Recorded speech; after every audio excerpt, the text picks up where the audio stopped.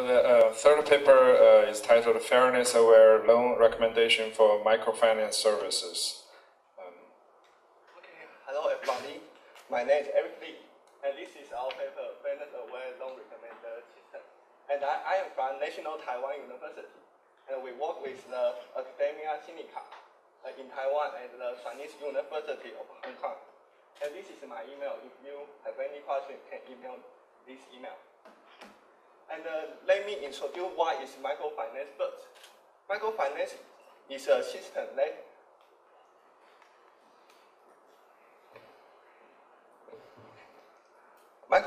microfinance is a system that uh, borrows small loan to small credit people. And it, it will very beneficial to the poor people because the poor people is likely to be an employee or low income they cannot get a loan in the bank. And microfinance system give them a chance to borrow the money they needed. And uh, uh, usually microfinance will use a, a, website as a medium. And uh, in our work, we will make our recommendation system in Kiva, which is a microfinance website. And uh, as the borrowers in the website like Kiva uh, be more and more. In fact, there are 3,000 borrowers in a week in Kiva. And it is impossible for a lender to, uh, to look at all of the borrowers and all of the loans. So we think a recommendation system is needed. And uh, we also see an interesting fact. We, we think the rank of the page will affect the, uh, the behavior of the lender a lot. Uh, uh, the, this page is the first page in Kiva. And as you can see, the borrowers get almost funded, almost fully funded. And they are very likely to get the loans they needed. Uh, and, but, but in the next page, those people cannot get even one, one, even, uh, even any money uh, through the website. And we think it is not unfair to these people because they are they, they are they cannot get any money and they are in the bottom bottom page of the website. So they are unlikely to be fully funded. And in Kiva, if you are not fully funded, you can get any money. You cannot get any money. So uh, our, our goal is to make an accurate recommendation. But uh, accurate re recommendation uh, will tend to recommend popular uh, loans. So we, we are not just only focused on the accurate recommendation. We also want to let the recommendation be fair, which means let the, uh, the recommend, recommendation time of each loan to be similar. And uh, it, it is uh, the problem model of, of, of our problem.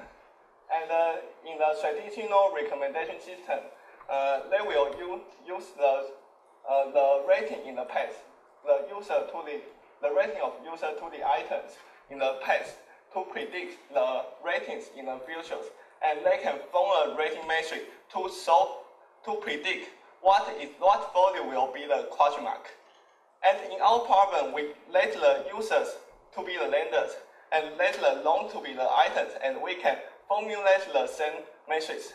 And if any lenders have lending action to a loan, the value will be 1, or it, or it will be question mark. That, that is what we need to predict. And uh, uh, as you can see, there are two differences of our problem to and traditional recommendation problem. The first is we only have uh, an value, so we only have one class of rating.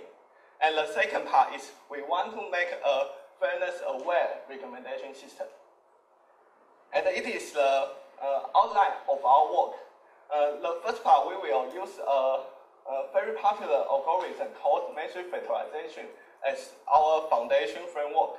And to solve the problem that there is only one class, we will use uh, uh, uh, an already proposed method called Bayesian personal ranking to build it in the matrix factorization and let it become, we call it BPRMF, to solve the one class collaborative filtering problem. And to let our uh, our recommendation be fair, we we do some tricks and actually we change the weight of each update in the BPRMF to let the recommendation system be balanced away. And let me introduce what is matrix factorization first. And factorization is uh, very popular in recommendation system. And the idea is really simple. For each lender, we assume for each lender and the loans, we assume there are some latent features. And we use the inner product of each lenders and loans and to be the prediction. And we just minimize the uh, square errors of the prediction to the actual answers. And we can get an optimization function like this.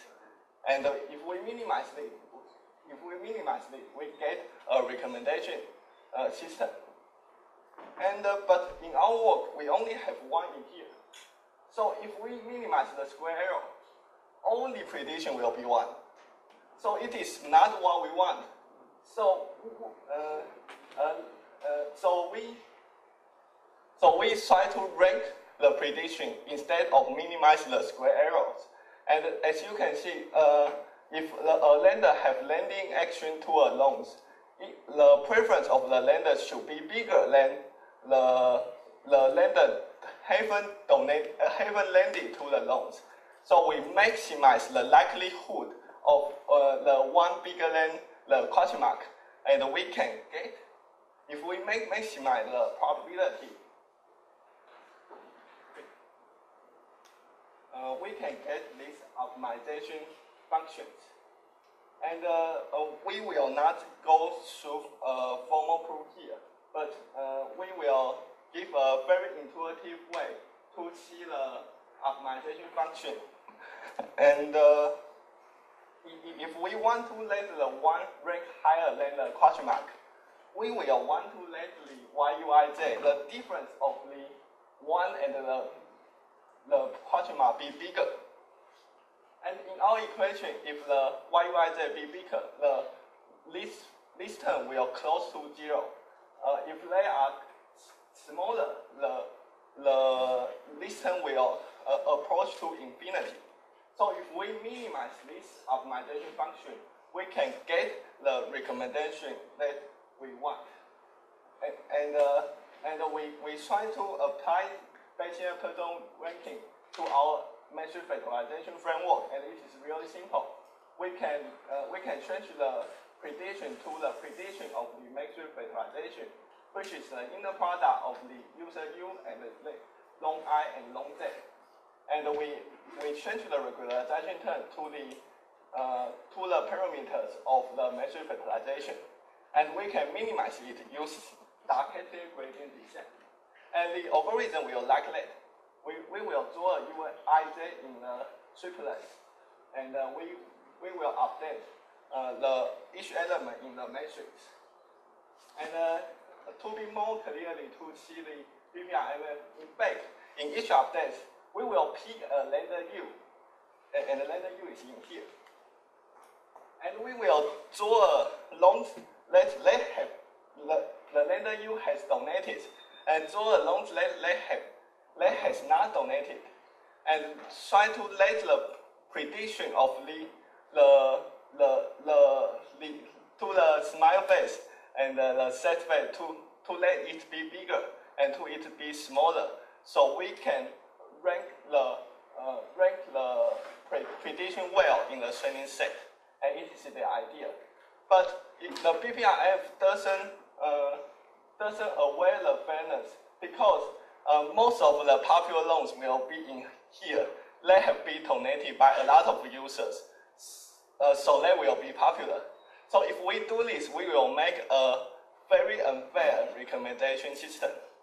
Uh, so uh, as we can see, the fairness and uh, the, uh, the accuracy may be a little contradiction.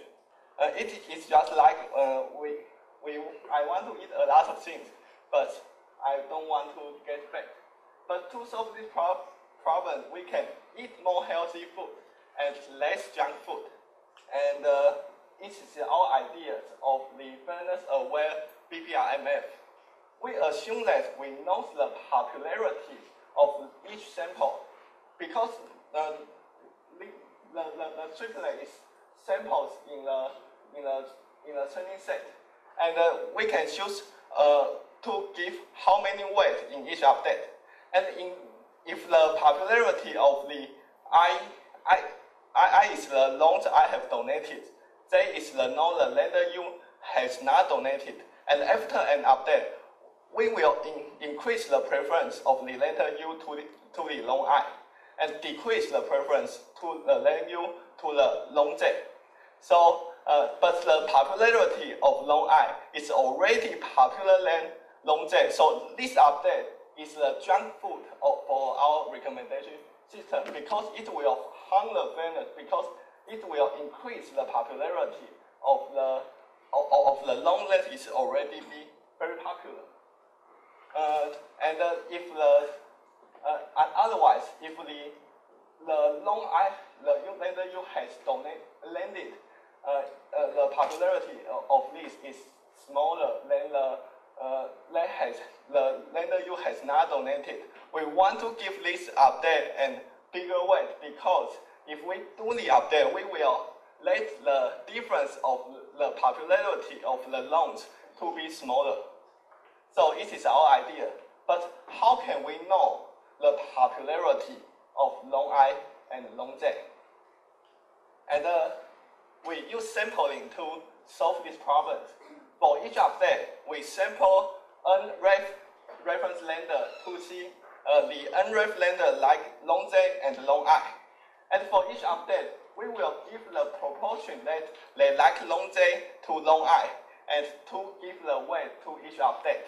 And, and our key idea is we sample unref lender to see the popularity.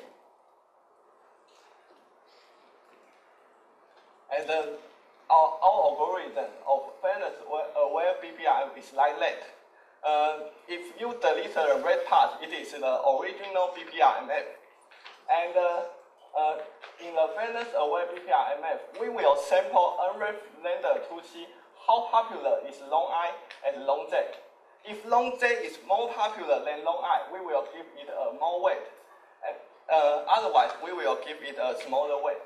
And uh, it is uh, the, the algorithm of uh, our work. And we do some experiment to see whether our work, uh, how our method is work or not. And we split the data according to transaction time to split it as training set, validation set, and testing set according to the transaction time. And we use two evaluation method. The AUC is very common in recommendation system, but STD is uh, the, the evaluation we propose to evaluate how fair is the recommended recommendation system. And, uh, and it is what the STD means. Uh, for, for any lenders, we will recommend uh, untapped, uh, untapped loans to the lenders and to see how many recommendations of each loans have, been recommended and to calculate the standard deviation of this list. And if the standard deviation is smaller, that means the recommendation system is more fair. And it is our result. The red line is the original BPRMF. The blue line is, uh, is uh, our method to uh, the fairness aware BPRMF. And we can see that our methods sacrifice a little accuracy, but improved a lot in the fairness part. And, uh, and uh, we also do the experiment of uh, how many reference lenders we should sample in one update. And as we can see, uh, if you sample five lenders, is enough because the performance will almost be the same to the 20 lenders. And uh, if we cut the base AAUC and stop the interaction, the result will be like that. And uh, the result is the same. Uh, our method is will decrease and the performance of accuracy, but increase the uh, will increase the fairness. And it is our conclusion. We propose a very, very simple method, but very e e effective fairness-aware recommendation system. And because the, the simple method only change the weight of each update in the Bayesian person ranking, it can adapt to any model who use Bayesian person ranking as the error, uh, as the optimization function. And we propose a simple method to evaluate fairness in recommendation, and we can do some further work to make our model be more fair. And uh, thank you for listening.